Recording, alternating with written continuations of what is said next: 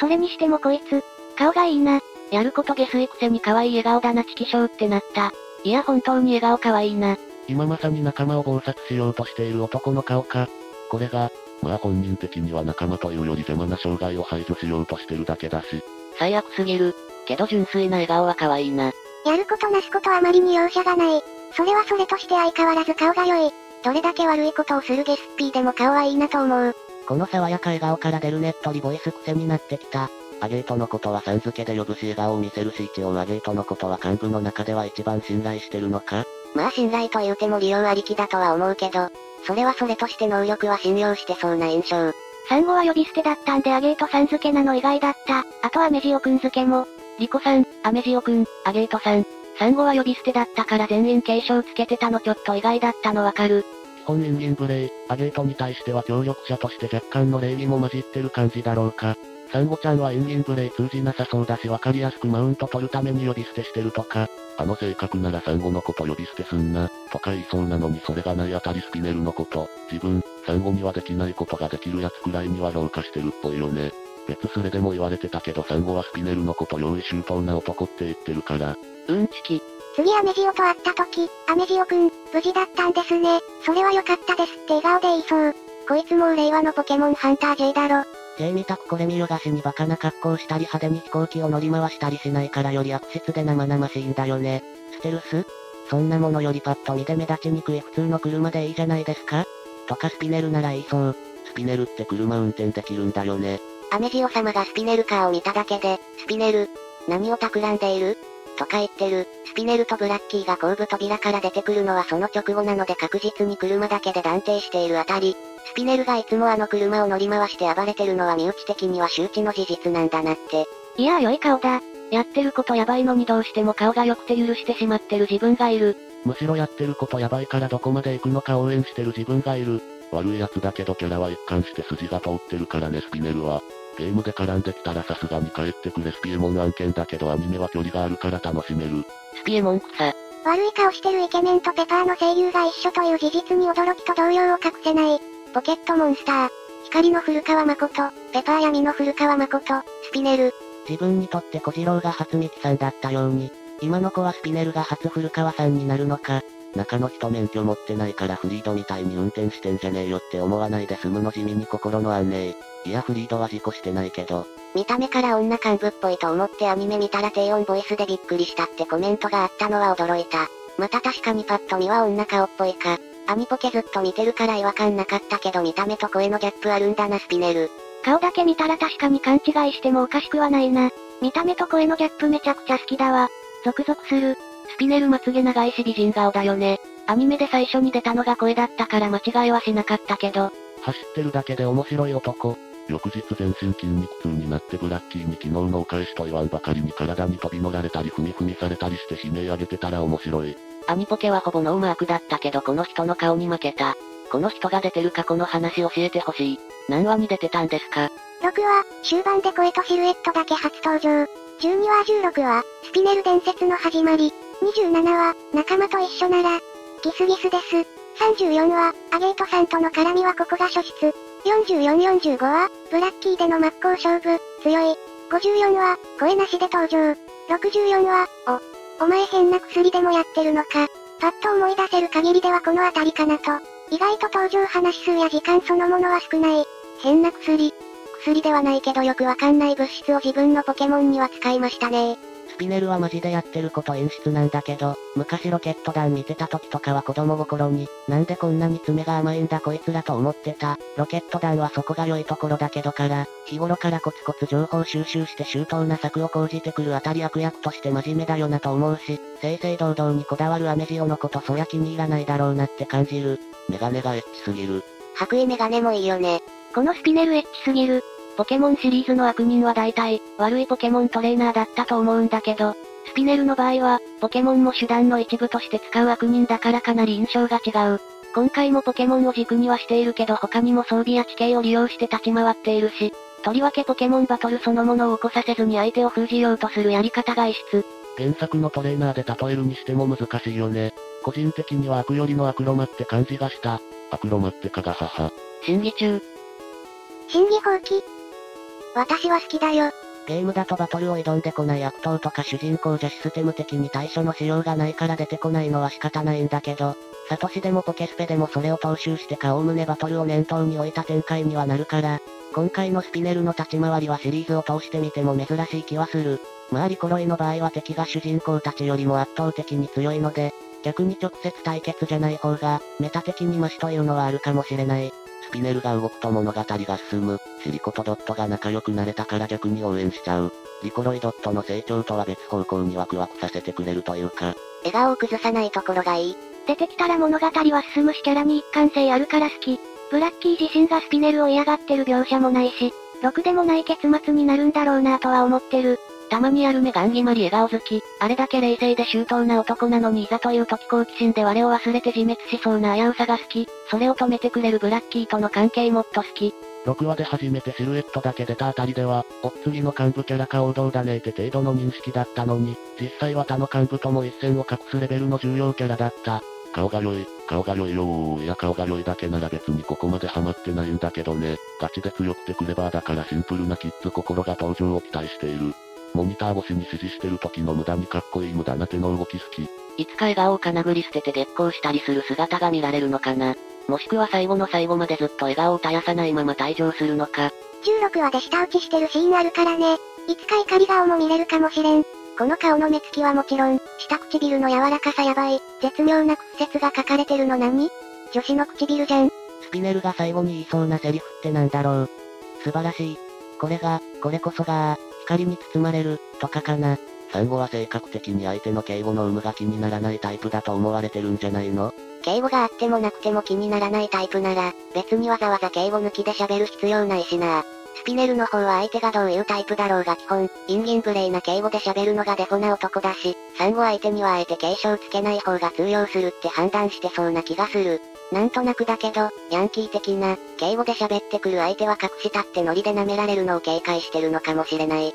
親しい奴らの中でさん付けするかは割と子供よりか同年代かっていう問題もありそう。サンゴちゃんは未成年っぽいけど、スピネルは何歳ぐらいなんだろうな。20代半ば以上のイメージはあるが、ピネルは身長的に青年っぽいから15、24歳くらいじゃないアゲートさん付けなのは普通に会社で呼び捨てしないマナーみたいなもんだと思ってたわ。サンゴの場合はわざわざつける必要はないかな程度で外してると思う。こうしてみるとオニキスの呼び方が気になるな。スピネルとブラッキーの出会いが気になって仕方ない。スピンオフとかしてほしい。この貫禄と低音で10代は無理やろうフリードとためかなんなら年上そう。さすが20代ではないと思う。20代半ばから後半と予想。エロい目で見られても文句言えない顔と声の良さしてる。こんだけ顔の良い男が割とシャレにならないレベルで演出な悪役やってると、アニポケ視聴者のキッズの中にスピネルに初恋奪われてその後の二次元の性癖狂わされる子いそうだよね。プラスピの関係性に性癖狂わされてやばい。責任取ってほしい。自分の顔の良さしっかり自覚してそうなとこあるよね。マジでそれ。ん、なでなで可愛すぎるぞ。もっとブラスピなでなでよこせアニポケ公式。よく見るとまつげ長くてなんかメスっぽいなブラッキー。なでなで。どんなに悪いことしててもブラッキーなでなでしてるシーンだけめっちゃ和むよね。自分が優れていることに自覚も自信もある。ここまでの秀才なら表の世界でもやっていけるだろうに、わざわざ闇に潜っている理由がなおさら気になる。恋人の湿度なんだよな。ブラッキーと完全にできてやがる。アメジオトリコ、テラパゴスを閉じ込めてサンゴに自爆させることで周辺一帯に雪崩を起こそうとしてないあのままだと発見されて救助されそうだけど洞窟ごと雪に埋めれば見つけるの難しいし、サンゴに責任かぶせられるという。こいつどんな過去来ると思う？孤児で施設育ちという妄想はマスト。そもそも過去が明かされるかどうかすら定かじゃないけどもし明かされるとしたら幼少期まで見たい。ショタスピネル絶対可愛いので、過去とか関係なくナチュラルボーンマットサイエンティストの可能性もある。顔と頭と声が良い奴が悪いことしてるの好き。つまりスピネルが出ると、今度は何やらかしてくれるんだろうってワクワクする。全年齢向けで表現できる限りの悪用じゃんじゃかやらかしてほしい。映ってないだけで絶対人とか23人はやめてるよな。スピネルの青白い肌って血がよく生えそうでいいよね。帰り血浴びるようなヘマしなさそうだけど、スピネルは30歳くらいだと思うけれどこう見えてアラフォーとかでも驚かない。子供向けアニメの大人って結構年齢設定がバカバだから、悪い大人は相応に年を取っているものでもあるし、スピネルの過去スピンオフでやって円盤出してくれんかな。いいねで買うから。正直最近は惰性で視聴してたけどスレが出てきたおかげで一気に面白くなってきたわ。スピネルは興味の対象であるテラパゴスとラクリウムしか見てなかったんだと思う。アメジオは邪魔になるから一応見ていて、リコロイドットが3人まとまると戦力として数えるけど、それでも障害としてはほとんど見られていない。3人は一応敵対するライボルのメンバーで、テラパゴスと一緒にいるから情報収集しているけど、3人いて障害になるなら、今回みたいにテラパゴスと一緒のリコだけ分断すれば戦力にならないと思ってそう。まつげ長いところまでおそろっちなスピブラかわいいかわいいね。ラクリウムキメタボのブラッキーにかけたねぎらいの声が優しくて情緒乱れる。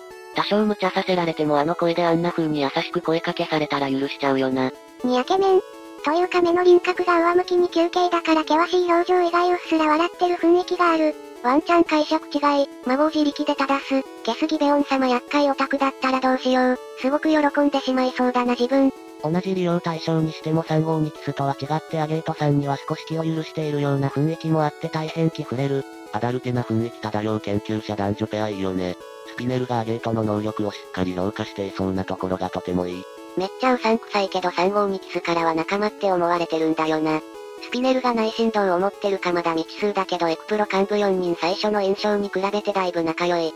最初の幹部総出演の任務失敗を色々言われてるシーン今思えば仲間内の軽口って感じだよな。逆にスピネル以外から何も言われてなかったアメジオ様は幹部たちから嫌われて距離取られてたっぽい。スピネルに都合の良い駒として使い捨てられるモブになりたい。よもやおとりとして客船に乗っていた切り刻ん使いの闇バイトさん、推定を羨む者が現れようとは、どのカット見ても顔が良すぎてずるいわこんなん。基本薄く笑ってること多いから1枚目の表情がなんか妙に珍しくて可愛く見える。あとブラッキーのお手手も可愛い。視聴者キッズたちにブラッキーの良さを広めてくれて感謝。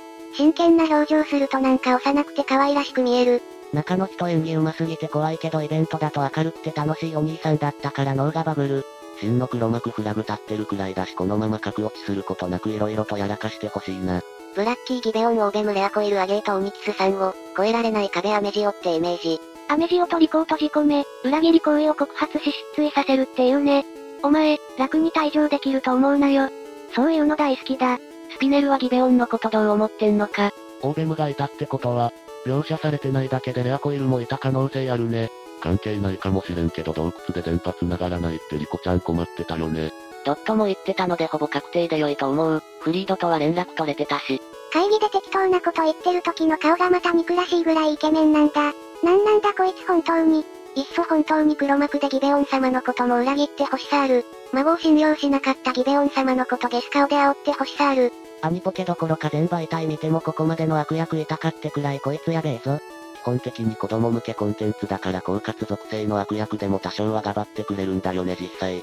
スピネルは視聴者でここまですること読めた人おるんというレベルで用意周到だからビビる。悪役としてやることやっていてむしろ高評価。スピネルが甘かったらシリアスな空気も緩んでいただろうし。アフターケアまで完璧だ。ここら辺で格落ちしたりかませかする悪役も結構いる中、出るたびにどんどん悪役としての評価上がっていくのは普通にすごいと思う。先週時点でスピネルの、消えてもらいましょうがこんな策略だったなんて予想できた人おったんかな。この手のキャラは狡猾であればあるほど美味しい。アメジオの性格へテラパゴス強奪とかしないでしょまで読んでそうだし、万が一強奪できてたなら披露したアメジオから奪えばいいくらいまで考えてくれててサンキュー。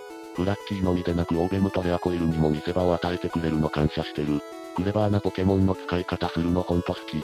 こいつもしゲームに出てたらアクロマみたいにレアコイルに奇跡持たせたり道具活用してきそう。オーベムに複数の役割持たせてるの偉いよ。記憶操作や空からの監視はもちろんのこと、戦線離脱や今回の罠に利用したテレポート、リザードンにアクテラスを切らせたメテオビームとめちゃくちゃ使いこなしてる。SV でスピネルのブラッキー配布してほしい。性別確認したい。アメジオ役の堀江さんが X で頑張れアメジオ俺はお前の味方だって言ってたけど、スピネル役の古川さんも小声でアメジオ様を応援してそう。それはそれとしてスピネルも内心で応援する。3号ニキスは横目でアメジオを見てるのに対してスピネルアゲートはまっすぐ前を見てるのが不気味。しかし、わしは古川さんがスピネルの声で、ひどい、スピネルどうしてこんなことを、と叫ぶどの面セリフを聞いてみたいのです。アニポケってポケモンの性別公開にそんな頓着しないイメージあるけどブラッキーの性別は知りたいな。こう二次創作とかはかどるので、SV で色地身長ブラッキー手に入れたからスピネルパーティ作りたかったけどオーベム入国不可で断念したから新作にはオーベムもレアコイルもいてほしい。ブラッキーがメスだとガチの恋人感出て横島な目でしか見られなくなるからオスであってほしい。オスだと主への忠義に熱い感感出てかっこいい。こういう幹部出てくるアニメで視聴者の背筋さえも凍らせてくるタイプなかなかいない。スピネルの画像だけ見てお色気女幹部かと思って釣られたぜだけど性別男でもそれなりにエッチな気がしてきた。はあ？性別男だからこそエッチなんだがスピネルが今までにしたことが優秀すぎてライボル VS エクプロというより VS スピネルになってるよね。ギベオンおじいちゃん動いたりサンゴがリコの目の前で自爆かましたりしたらは終わっちゃうからしょうがない。その分スピネルを多く見れると考えよう。なんなら全ての悪を担うくらいの勢いで励んでくれ。他者を害する時の生き生きっぷりと道の力を目の当たりにした時のガン決まり感は本当に素晴らしい。前のラップみたいにキャラが歌う ED ないかな。古川誠はありえんくらい歌うまなのでスピネル歌唱聞きたい。アゲートさんの中の人とか宝塚出身みたいだし歌は聞いてみたい。ただロケット団みたいなコメディ全振りの悪役でもないので歌われるとネタっぽくなっちゃうのがネックかな。J って最後は多品団だっけそう考えるとスピネルもただじゃ済まない末路を迎えそうだな。乗ってた飛行艇が沈んだから死亡しただろうと言われているけど明確な死亡判定シーンはない。スピネルが行くようなことがあったらブラッキーどうなるんだろ。